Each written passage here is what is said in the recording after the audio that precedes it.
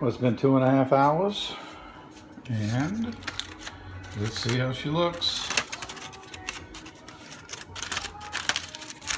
Be careful because I'm sure there's gonna be a pile of steam come crawling out of here. Oops, forward. Mm. Oh yeah. Oh, look at the color on that. Huh. Now what I'm going to do is I'm going to take this juice. Oh, look at that falling off the bone. Oh boy. This is going to be some some kind of delicious, I do believe. Look at that. Mmm, mmm, mmm. So anyway, I'm going to take this and I'm going to run it through a little strainer.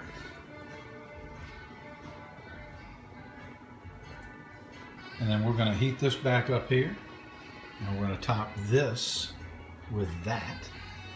And we're going to lay it on top of a bed